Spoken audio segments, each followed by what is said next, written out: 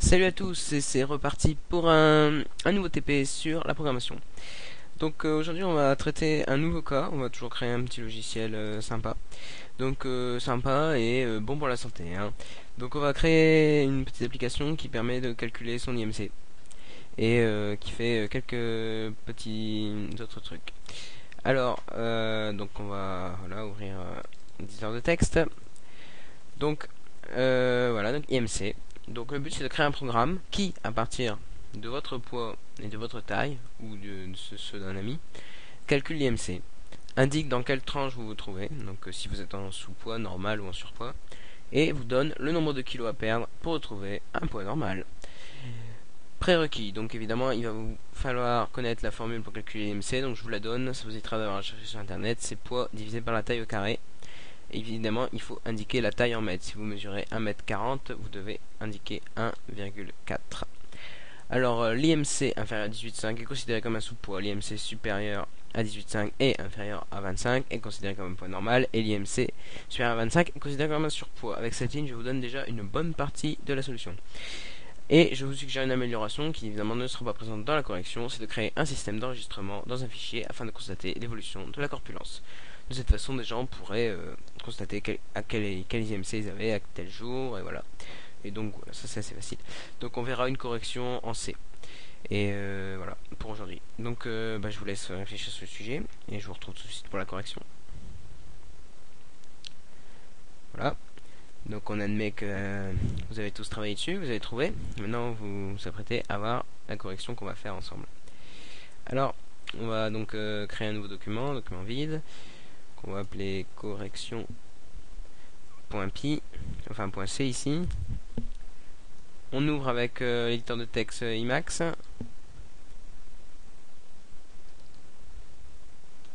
Vous virez la fenêtre du bas avec CTRL X plus 1, rappel des raccourcis Emacs, et on va inclure les librairies.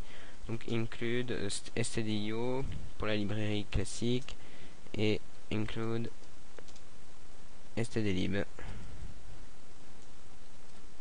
Voilà, donc comme ça on a les entrées-sorties avec stdio et la, la, la, librairie std. Donc on va ensuite euh, donc créer une fonction principale, int main, euh, qui ne prend pas d'argument, donc on met void. Puis à la ligne, et on va déjà demander à...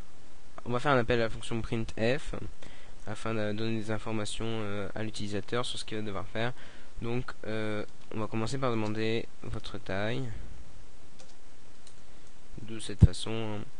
Alors après, libre à vous d'ajouter, hein, je l'avais pas précisé dans le dernier TP, mais vous pouvez très bien ajouter un titre avec menu et tout, mais là je le fais pas parce que c'est pas indispensable. Et donc la taille, bah là on se rend compte qu'il faut la stocker dans une variable, donc ce qu'on fait, c'est qu'on va déclarer une ligne avec plusieurs variables, donc en flottant évidemment afin d'utiliser les virgules, et on déclare taille, poids et IMC pour stocker la future IMC. Alors votre taille, donc on va utiliser la fonction d'appel scanf afin de pouvoir lire l'entrée standard. Hein. Donc ici le clavier, hein, donc et vous utilisez F, puis on ferme ici et on utilise un pointeur sur taille. Voilà. Donc on continue, donc on peut passer une ligne afin que ce soit plus clair, print euh, et on va demander cette fois-ci votre poids. Quel suspense votre poids, on ferme, on n'oublie pas le point virgule, scan, s'il te plaît, et pourcent %f, on met la virgule, et là cette fois-ci, on le met sur poids. On ferme, point virgule, et on continue. Alors là, ce qu'on va faire à ce stade-là, ce qu'on peut faire éventuellement, c'est calculer l'IMC. Donc on va créer une fonction calcul IMC, parce que comme on est, comme on est comme on est des bons programmeurs, on crée des fonctions pour tout faire. Calcul, alors voilà, calcul IMC. IMC, voilà, c'est fait. Et donc, alors cette fonction renverra un flottant et prendra en argument évidemment deux flottants qui sont la taille et le poids qu'on va renommer pour éviter d'avoir à faire une confusion float et euh, P. Donc voilà, on renomme, bon, pas de façon très... Voilà, évidemment cette fonction, donc euh, elle est définie ici, mais il faut là l'écrire vraiment en bas, avec float calcul, je vais fermer pour éviter des problèmes. Float calcul IMC. Et là, on réécrit tout. T float P. Hop, hop. Et voilà. Donc on va demander à cette fonction de retourner l'IMC. Et l'IMC ici ce sera donc euh, qu'est-ce que j'ai dit déjà? Ah oui le poids donc divisé par la taille au carré. Taille fois taille. Point virgule. Et c'est bon. C'est tout pour notre fonction de calcul d'IMC. Alors donc là à ce niveau là oups on peut très bien remplir la, la variable IMC. IMC égale donc calcul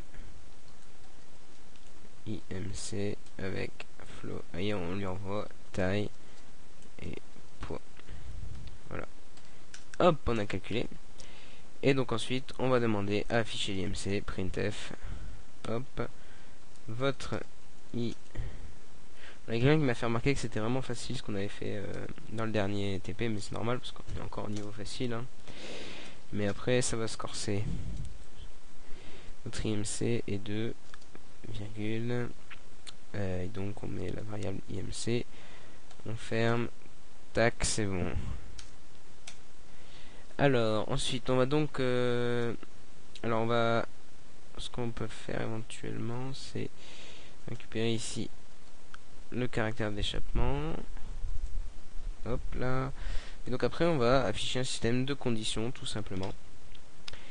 Alors, euh, les conditions, donc avec si si IMC inférieur à 18,5 parce que on a vu que c'était le poids euh, limite hein. alors dans ce cas il faut afficher euh, print vous êtes en, euh, en sous-poids hein. je pense qu'il doit y avoir un tiret et donc on ferme, point virgule. Hop, sinon, et ce sera pas juste un sinon, mais un sinon si, puisqu'on prend la condition si EMC supérieur à 18,5, mais aussi, et là, appelle d'une condition booléenne, c'est-à-dire que deux états doivent être exacts pour que ça continue. Donc si EMC supérieur à 18,5 et IMC inférieur, à 25. Alors, dans ce cas, printf, et on va dire, vous êtes euh, normal. Enfin, pour le poids, hein, le reste, on sait pas. Mais bon, on va s'arrêter là. Alors, et après, sinon, si, encore, IMC supérieur à 25 et là print e. et donc on va dire vous êtes en surpoids. Et on referme. Et donc là on prévoit toujours le cas où aucun aucune des conditions ne se serait remplie donc en cas d'erreur d'entrée par exemple. Sinon print f. Et donc on va écrire quelque chose comme erreur donc, euh, on a traité tous les cas. Alors, voilà. Et donc, en fait, ensuite, ce qu'on avait dit, c'était la dernière fonction, c'était de calculer le poids. Donc, le poids qu'il faudrait perdre pour atteindre une IMC de 25, qu'on peut considérer comme normal. Donc, on va tout simplement rajouter ici, c'est une fonction calcul poids idéal. Calcul poids idéal. Bon, euh, évidemment, ça, reste un TP de programmation, hein, vous basez pas là-dessus pour faire un régime, hein, parce que tout ça, ça dépend aussi de, l'âge, de plein d'autres choses. Donc, euh, vous pouvez faire ça pour euh, déconner, mais avec vos copains, mais suivez surtout pas ça. Hein. Je ne peux être tenu responsable de tout acte. Calcul poids idéal. Et donc on va prendre en flottant. Là, il va nous falloir, il va nous falloir bah, la taille et et le poids, tout simplement, comme d'hab. Et donc on va partir de... On va tout simplement euh, prendre... Euh, comment dire On va admettre qu'un poids idéal ce serait une MC de 25. Donc calcul poids idéal, est-ce que j'ai bien donné le même nom? Oui, c'est bon. Et donc on va l'écrire ici. Float calcul poids idéal. Hop. Et on va demander à retourner.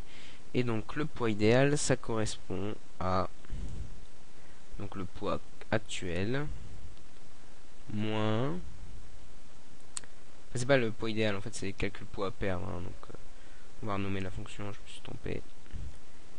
Calcul bon elle ça permet de calculer le poids idéal donc on laisse ce nom là donc le poids que la personne a moins 25 l'IMC divisé par taille au carré. Et voilà. Euh, multiplié par taille au carré puisqu'on avait divisé donc voilà. et là on retrouve tout simplement. Voilà.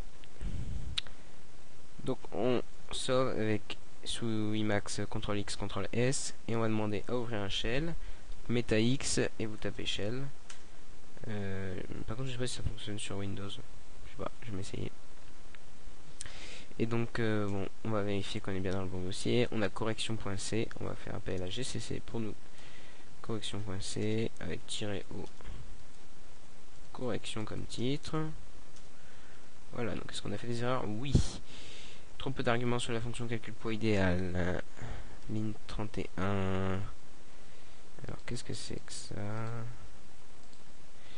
Alors à chaque fois j'arrive pas à retrouver ah oui, ah oui d'accord j'ai oublié de donner ici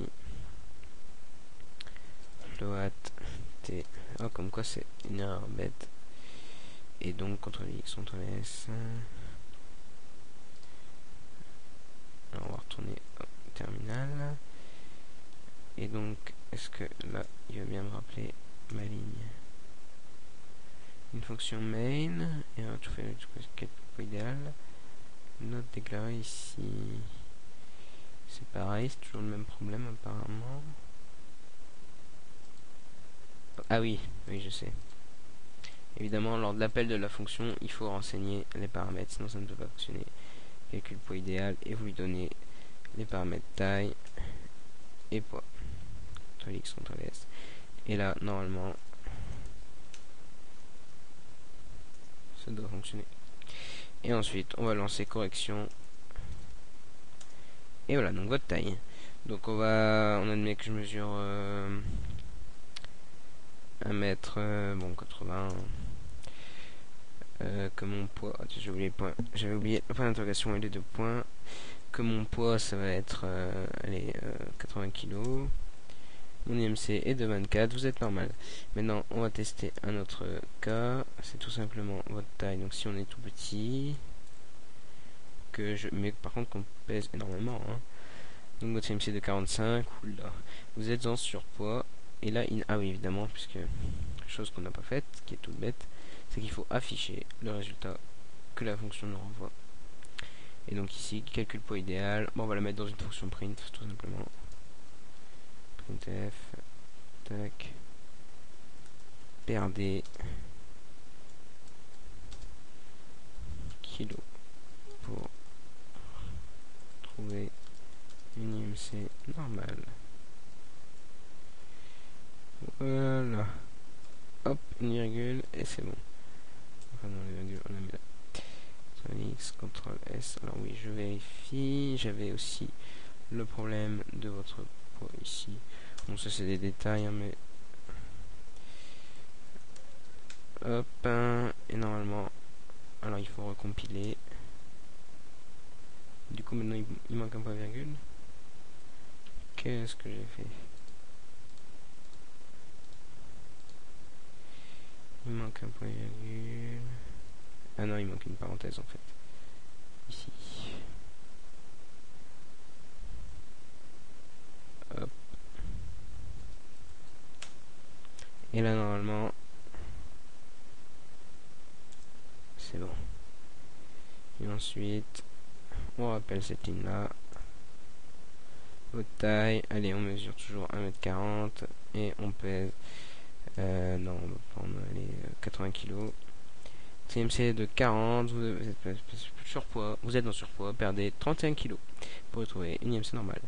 Et donc là, ce qu'on peut faire éventuellement, c'est rajouter, échapper les caractères de retour à la ligne, ici, afin d'avoir un retour à la ligne, et ici. Et voilà. Et puis c'est tout. Donc euh, je vais juste jeter un coup d'œil à la correction que j'avais, pas au programme que j'avais écrit pour voir si euh, s'il me manque rien. On sait jamais, mais je ne pense pas. Alors j'avais écrit une fonction calcul IMC, calcul point idéal, ouais, ouais, ouais, ouais, ouais, Tout est bon. 25 fois taille au carré, ouais, d'accord. Bon bah voilà. Donc euh, bah, comme d'habitude je, vous fournis le zip avec euh, le, le, le, code source plus euh, la consigne plus un exécutable pour Linux. Et voilà. Et donc je vous retrouve à bientôt pour un, prochain tutoriel. Et j'arrête l'enregistrement maintenant.